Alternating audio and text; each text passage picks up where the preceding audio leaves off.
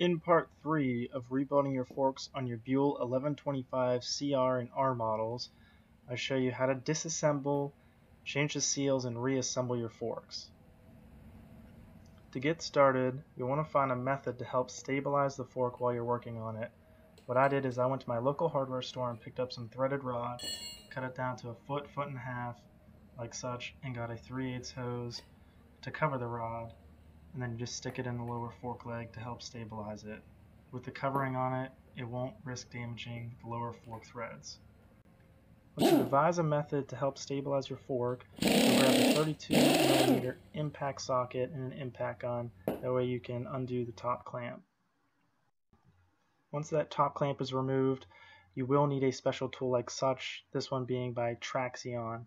I picked this one up for roughly 20 bucks off eBay. Now there are other methods to remove it, but this is the best way to do it. Other videos on YouTube show you how to use an angle channel. That can easily slip off and you end up scoring and ruining the internals of your fork. So this one, if you can't afford it for some reason, you can get a 3 inch donut gasket from an auto parts store, drill two holes in it, thread them, use some 5 16 bolts, and you have the exact same tool. Now you can use two ratcheting straps to help compress the tool, but for sake of the video, I wanted to prove that you can in fact use your own body weight to compress the spring.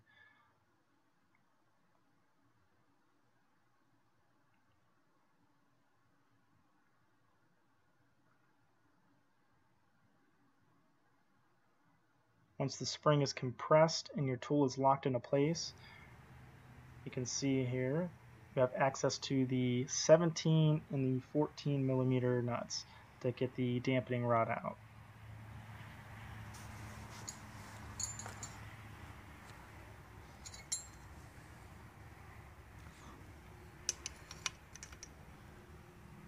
The top nut is a 17 while the lower is a 14 millimeter.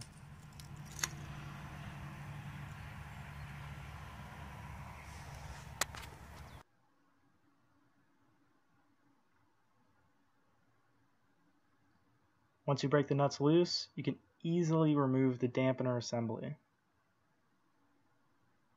Go ahead and set it to the side once removed.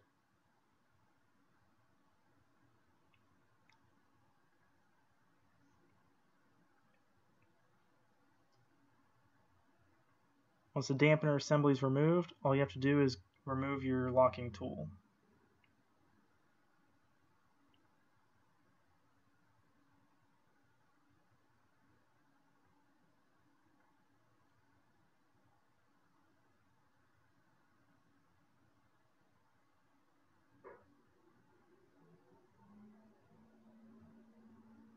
Go ahead, set your tool to the side and remove the inner sleeve of the fork.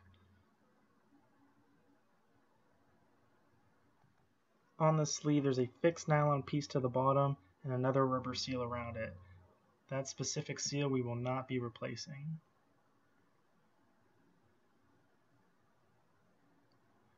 At this stage you'll want to tip over the fork, that way you loosen up the spring and all the fluid will come out.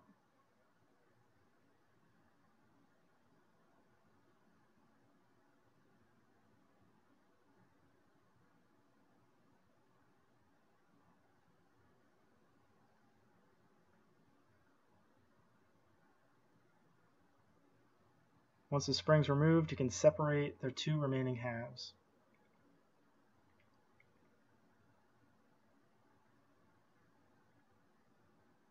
The lower leg portion that's still in my left hand, this piece we will not be disassembling any further, we will just clean it up.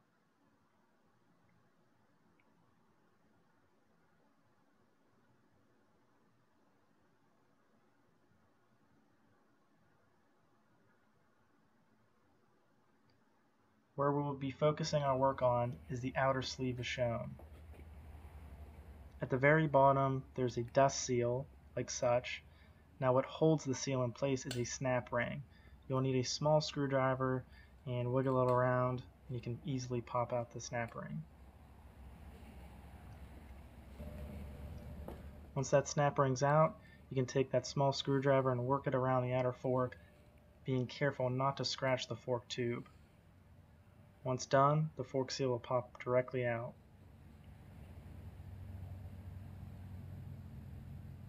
What you'll need to remove next is the inner fork oil seal.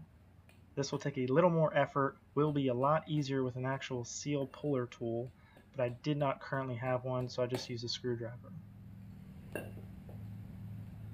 Either method works well, and once removed there will be a small thin metal washer that you'll need to remove afterwards.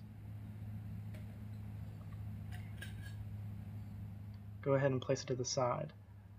Now the hardest part of the disassembly is a copper bushing that's pressed into the inner workings of the fork.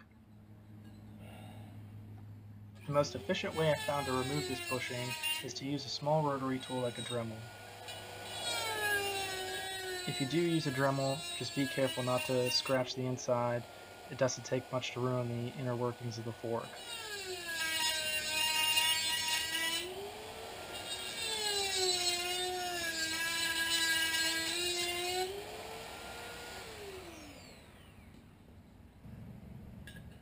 Once you're able to cut a slit into the bushing, you can take a screwdriver a seal puller and work it out. And just for reference from the Buell parts catalog, here's the fork schematic for an 1125. Next, after everything is disassembled, you want to get some brake clean and some shop rags and clean everything thoroughly.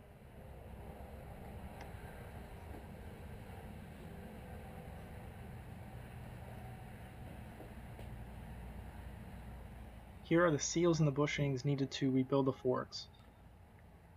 Part numbers and descriptions are mentioned in part 1 of my video.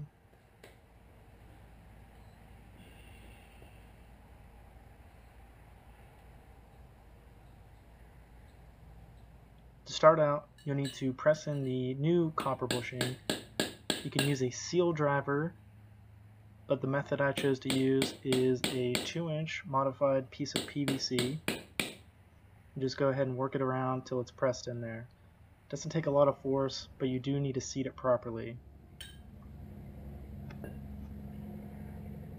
Next you'll need to reuse the old thin metal washer. Place it in like such. Does not matter which way you put it in. Now what will matter is the next portion. The next piece to install is the fork oil seal the pressure side will need to be facing downwards. That's where the springs are located. So when you drive it in, you should not be looking at the springs in the seal. Again, it would be easier to use a seal driver, but I did not currently have one. And again, I used a 2 inch piece of PVC to drive it in, slowly working it into place.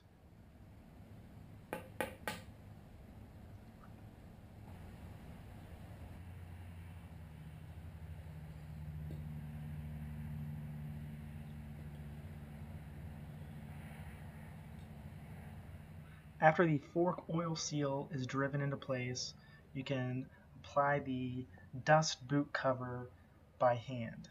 You do not need a seal driver for this portion.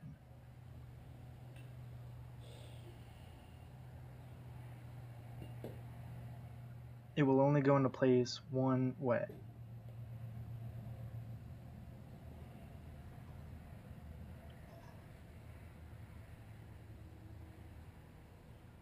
Once it's put into place, go ahead and take that snap ring and feed it through. You can easily find the lip to place it into and it'll snap directly into place.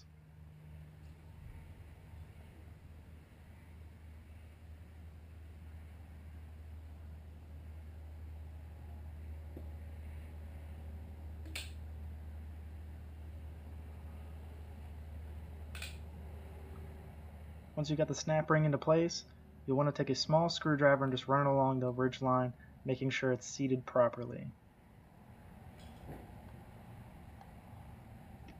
Once all the seals are driven into place, take a little bit of used oil and apply it around the fork oil seal you pressed into place.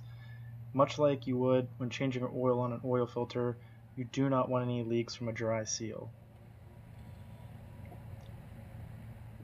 Once you lubricated the seal, go ahead and take that outer fork portion and lower it over top of the lower leg.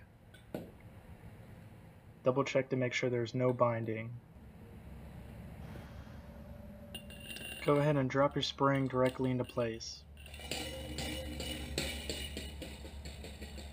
Once your spring is fully seated, fill with the recommended oil of your choosing. There's many other videos on how to bleed the dampening system on a Showa style fork. I will not go into depth with those, just the basics. What I'm showing you here is wrapping a string around the dampening rod that's already mounted to the lower fork. This way, when you go ahead and apply the inner seal, you can lift the string up. That way the dampening rod is facing upwards and you can lock it into place easier somewhat difficult to explain, so hopefully the video can show what I'm talking about. Here you should see me lifting the spring up. You want to tie a nut on the other end and lower it to the other inner portion of the fork. Nylon side down, and then the original seal goes back into place. Here you can also see I have the tool already located in place. Now go ahead and start to apply force downward with your body weight while pulling on the string. Input the locking tool. After a few tries, you can get it into place. Once that's done, go ahead and snip the string, making sure there's no string falling down inside. You do not want to have any string remaining when you close up the forks. Once that is done, lower the dampening rod into place.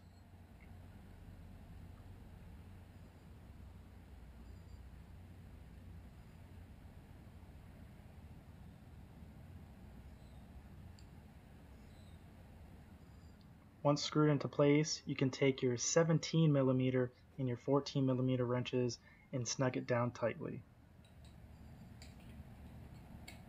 The 17 millimeter bolt's going to be on the top, while the 14 millimeter portion is on the bottom.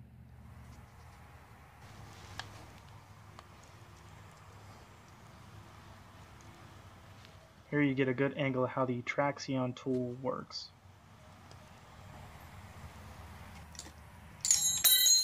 Once it's snug down tightly, again apply your body weight to knock the wrenches out of place.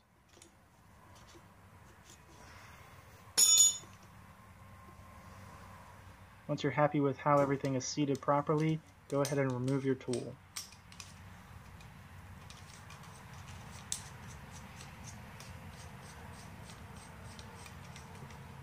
Now you can go ahead and remove your tool for the final time. The last step, you'll lift the outer portion of the fork up to the cap, spinning it into place. Be careful not to cross thread it. Grab your impact gun with a 32 millimeter impact socket and snug it down into place. Proper torque on the cap is 22 to 30 foot-pounds of torque. And there you have it. You just completed the rebuild portion of the forks on your Buell 1125 CR and R models. The next and the final step in part four is to reassemble it onto the bike.